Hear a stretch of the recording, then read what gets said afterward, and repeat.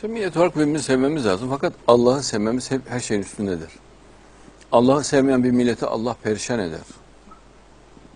Allah'a ilgi duymayan bir milleti Allah perişan eder. Birbirini sevmesi mümkün değildir o bir milletin. Allah sevilmeden, Allah'a hayran olunmadan, Allah'a aşk duyulmadan bir millette bereket bolluk olmaz. Sadece sefalet, sıkıntı, azap, bölünme, kahır olur. Başka bir şey olmaz. Biz tabii ki e, rahatlık, huzurlu yaşayalım diye Allah'ı sevmiyoruz.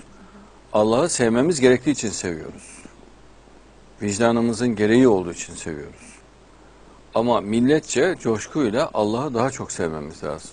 Daha çok bağlanmamız lazım.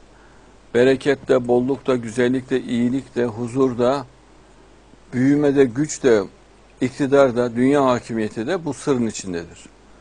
Bu sırrın dışına çıktığında mümkün değil. İstediğin teknik önlemi al. İstediğin ülkeyle yardımlaş. İstediğin propagandayı yap.